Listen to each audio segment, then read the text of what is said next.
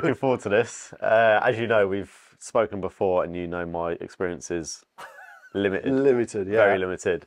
Uh, this year is the first year that I've actually tried to play 18 holes properly. Yeah. But I've never had any coaching. Okay. So uh, yeah, So who's who has helped you with your golf? my mom. Your mum? My Okay, cool. My mom plays a lot of golf, and she's had lessons. Uh, to be fair, she's had a lesson with you, I think, Yeah. as well. Um, so when we play together, she'll give me little things to say.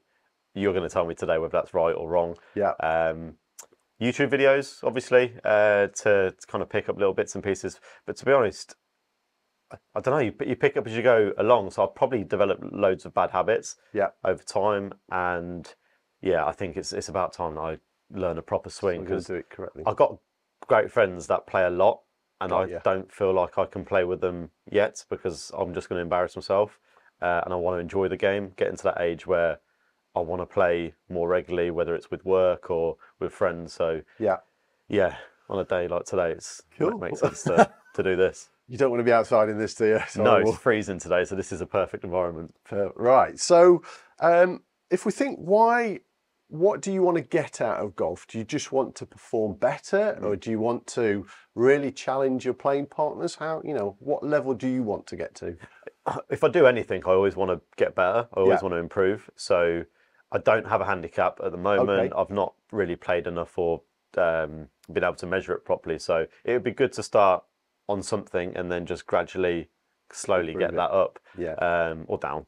And yeah, enjoy it because, uh, as I was saying as well, a friend of mine's picked up some injuries, and if I'm going to start playing more, Yeah. I don't want to do it wrong to then cause myself some injuries. Like I'll be not be playing football forever, and one of the reasons is because I don't want to keep getting kicked. So Yeah, I don't want to yeah, go into golf and get injured as well. Yeah. Too. So, um, how old's your friend who's got injured? Yeah, I think he's 36. Right. Okay. So that's Yeah. too young. And is that golf related or is that life related? I think one of them's golf related, related, uh, so shoulder and elbow, wow. Okay. and the elbow I think is related to it. But um, I think it was all sorts of like things that have been building up. But I know golf wouldn't help it with the stance and yeah. Okay. swings and impact as well. So I've I've had many injuries, and I've learned very quickly that you don't have to get injured playing golf, and in fact, you can be much more efficient when you don't get injured because you're doing some of the things correctly. So we're going to have a great time. Um, I know. you might feel a little bit nervous doing this in front Yeah. of me, but to start off with, we're, I'm just going to let you hit a few shots Yeah. uh, and see what happens. So Yeah. what I want to do is just have a look at your golf swing before I jump in and uh, and start helping you. So Yeah. uh, should we get a club? Yeah. no laughing. So uh, this is just a relatively short shot that we're trying to hit it. Don't worry if it goes in the sand or wherever it goes. Let's hit a few shots. We are where we are, and then we'll see how we can start to help you. How, oh, 110 yards, that says. 110 yards. Okay. So you you, sh- you should have a, a- enough club to get you there. I mean, it's bad enough going on hole one with people behind you, but this is a bit different. Brilliant. I've strike lucky there, haven't I? Well, if that goes in, we're sorted. yeah, nobody laughs. That's good. Um, so you've just hit that 103 yards and you're incredibly accurate. So I'm thinking why we're here. Let's try it again, see if it was luck. Brilliant. That matches my consistency on the actual golf course. So relatively common to see that. You a good one and then one goes off to the right. Don't be surprised now if one suddenly went to the left. It might, it might not, but let's uh, let's that just see. Is that because I'm overcompensating? That's exactly what starts to happen, yeah. Nope. No, gone in the bunker now. So, and this is where you get that inconsistency when it's on the golf course. And whilst you're out playing golf with your friends and you start to enjoy it, if you're hitting shots way offline, that enjoyment gets a little bit less sometimes, especially if you're competitive, you know, if you, you've done the football. So already I can see some uh, things that we can definitely help you with. Um, so you've, you've hit one that's gone over 100 yards, the other ones are going like 80, 70, 80 yards. So there's definitely some things that we need to work on. So the way that I like to coach is think of yourself as a bit like a piece of clay. So you're rough, rough at the edges, and what I want to do is start to shape it to get a kind of a shape of golf swing. But we can't do that unless we've got good foundations. So let's think of uh, building a golf swing. It's a bit like building a house. We have to have good foundations before we can put the walls and the roof on. So if we can get you setting up correctly, that helps the next bit. If we get that bit right, then that helps the full swing. So Mm-hmm. that's the way I generally like to to do this. Um, so a lot of people skip the setup. Yeah. Go, don't- I've done that bit. That's fine. Yeah. But most commonly, it's incorrect. And straight away, I can see that you've got some. Uh, you're you're actually standing too far away from the golf ball. Okay.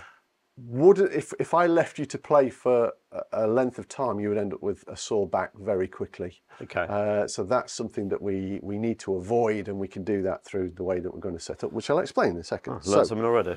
already we're learning something. So can you just make your normal setup for me? Okay. Do you want me to talk you through it? No, I just want you to make your setup. Okay.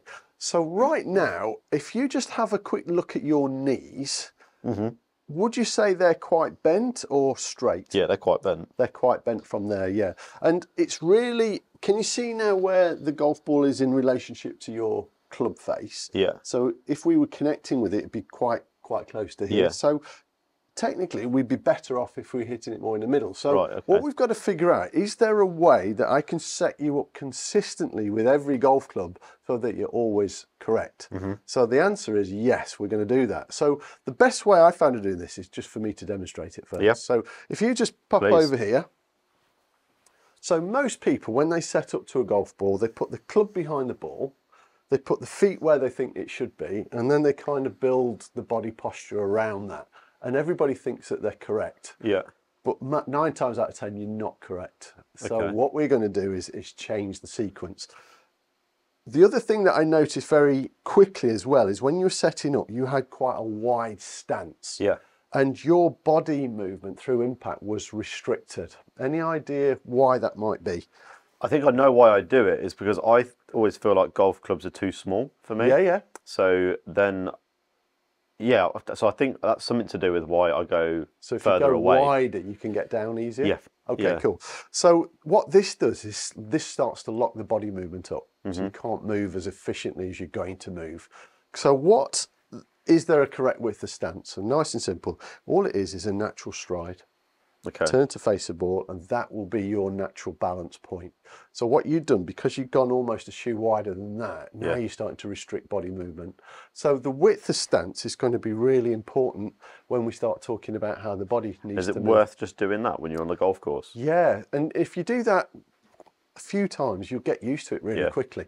Uh, but if you suddenly did this, it looks way too way too weird. Yeah. so, crabbing. so we're going to get that right width of stance, uh, which you'll do. You, you're doing it now. Yeah. So you've got the correct width of stance. Yeah, since I've already, which is- overthought it when I'm going to the golf ball. yeah, you've got it. So you've tried to do it to get down to the ball, but we're going to do it in a much better way than that. Okay. I haven't checked your grip yet, but I'm going to do that in a second. But what I'll do first is just get you the right distance from the golf ball. So we're going to stand nice and tall, arms out in front of you, and then we're going to relax them onto your body. So this is going to be your start point. Now, what you will have done from here is you'll have bent your knees. Yeah. And this is putting some pressure on your on your back now. This is the wrong way around of doing it. So what we're going to do is arms relax on your body. We're going to keep your legs straight. We're going to bend forward from your hips until the club hits the floor. Once it's hit the floor, then we're just going to soften the knees. Mm-hmm. But what you'll see now is the club is too far away from the golf ball. So that's how you'd make that measurement. So then we'll just nudge him. Okay, so we'll check Yeah. again. Arms, hips, knees. And now we're in this perfect posture. But what you're actually in, you know, you're 36, is we've I'm got you here. 34. I'm not- I'm not your friend's 36. 36, yeah. So now we've got you in a really strong position where you could hold a heavy weight. Yeah. So it's actually very athletic, this. Okay. So when you were doing it here, this is nowhere near as athletic as, and as strong as, as we're going to get you. So this golf swing is very powerful. You know, we're moving the club at, at great speeds in one second. So if we get the setup right, it helps everything else. So shall we ever go? So it's just a natural, Natural stride. That's it. There And you go. So straight away now, your the width of stance now looks super. Yeah, Okay. I'm really happy with Thank that you. one. You can as well, if you want to, you can have your toes slightly turned out. Again, that's something they I've just not to. heard. Like, have your toes straight, and they say that that line is the line that you are directing in. So that that's going to help with what we call alignment. But if you start to have your your feet too straight and Yeah. we turn in this direction, Doesn't it puts a lot of strain on your hip and on your knee, Mm-hmm. which again are common injuries in golf. So if you turn your toes out slightly, that will give you more range of motion, more mobility. Okay. So that, and hopefully that feels quite comfortable. Yeah, it does with my toes out now. Yeah. Mm. So if you keep hold of the golf club, I'm just going to, okay, so we, we're going to tweak the grip in a minute, but let's do this setup first. So from here, I just want your arms to relax on your body. So this should feel really comfortable. Hmm. Okay, I'm actually going to move the ball out of the way a second. So if you now keep your legs straight and just bend forward from your hips. So bend, bend, bend, bend, bend. And now just relax your knees. There. So already now you look in a much more athletic posture.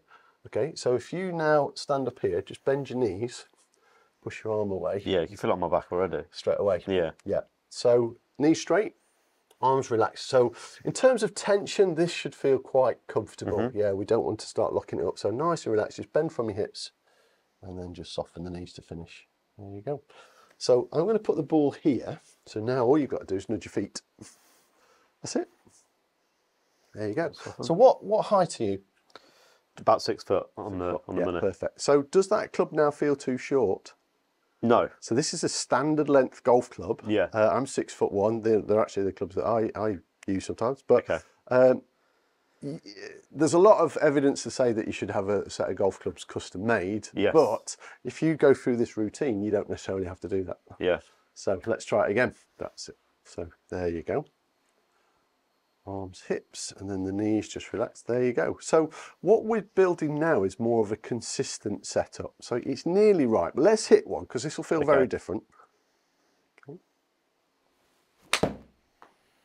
Very good. So we've changed one little thing already. We've not even touched the golf swing.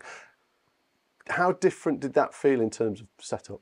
A lot different. I like so I think I've avoided in the past being too over the ball.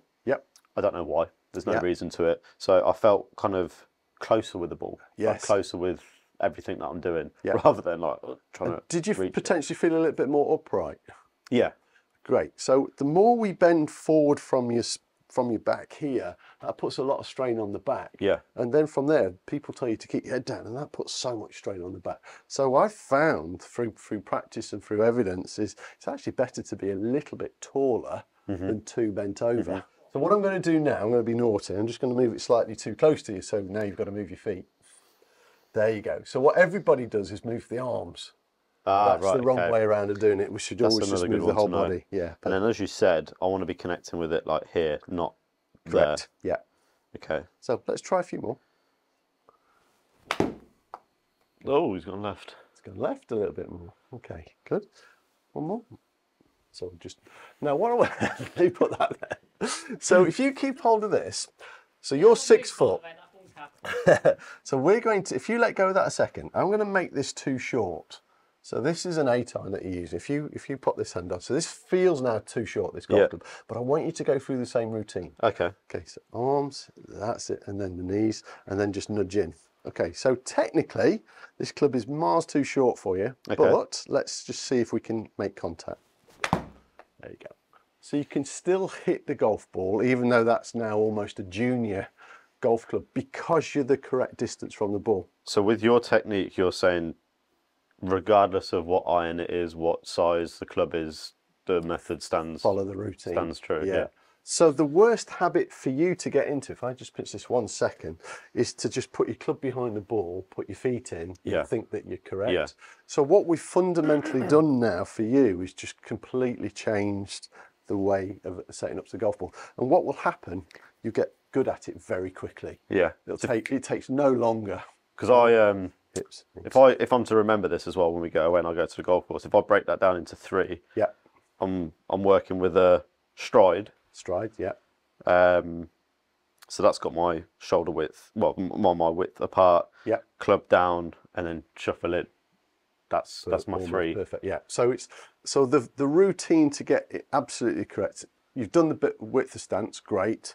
Arms, hips, knees. Yeah. Top, middle, bottom. Arms, if hip, knees. Yeah. Okay, hips, that's a good way of doing it. So if you do arms, knees, you won't bend forward from your hips yeah. Because nobody does. They just push push the arms away. Yeah. So just work you into a downwards, arms, hips, Yeah. knees. Top, middle, bottom. Yeah. Okay, that works. Cool. Shall we try that one more? Okay. Okay. Cool. That felt good. What what felt different, if anything? Not necessarily the swing. Just felt more, clean. More posture. Okay. It felt quite clean, yeah. Felt cleaner. Okay. So now you've kind of found the bottom of the ball a bit more consistent. Yeah, the one I did before was a lot lower. Yeah. So can you set up how you used to? Yeah. So just just that's it. So now you don't go. we get in the zone. Okay, so Remember now you've got that remember how wide stance. There you go. Okay, and then the knees were more bent than that, and your arms were more pushed away. Okay, and I feel a lot tenser. already. My arms feel really tense great. as well. And now you look in a sitting posture. Yeah, That light looks really painful. Those lights. and now it's gone. now it's gone way offline again. Yeah, so I would say where you were before, you know, when you're doing it the other way, is it was very restrictive in terms of movement. Yeah. Uh, and I know we haven't even spoke about the movement yet, but when you were getting it right, your body was already starting Yeah. to move slightly differently. So I could get quite easily. Um, obviously, there's a bunker here, so it's quite obviously bad. But because the connection was okay Yeah. on a golf course, it's like I'm hitting the ball okay, but I'm not having any control over where it's going really. Correct. Um, and also over time, it'll cause me pain. So yeah, I could quite easily be misled by these types of shots throughout the year that I've had, thinking it's okay, but realistically, if I'm getting kind of more rounds in with friends, I, I don't want to be there, Left, there, right, there, yeah. there. Call it military golf, left, right, left, right, left, yeah, right. yeah, Yeah, I like we're, that. we're trying to avoid that. Yeah, um, but the way that you were setting up would make that happen much more often. You'll get that inconsistency. So what we're trying to do is build in natural consistency Yeah. through doing things the right way. yeah, Uh, the cool thing is if the ball's slightly above your feet or below your feet, you can just follow the same routine. It's going to work perfectly. So, Out of interest, how important do you think it is to have golf lessons before you start playing on 18 hole courses as opposed to start playing and then get so great question. Uh, 100% important that you get coaching first. yeah The hardest thing uh, for, for pros to do is to coach a really good player because they've got into habits that they've ingrained. yeah we don't have that danger Complete me. beginners haven't got any habits. yeah So it's a million times easier Yeah. coaching a complete beginner, yeah, because you, we, we've got the shape now, we can already start to do things correctly. So you, you're not slipping into bad faults because you don't know what they are. okay Which, is- which is, so yeah, it's a great question and, and one that I would tell any, any beginner definitely have some coaching. When you're ready to hit the shot, I want you to close your eyes and hit it.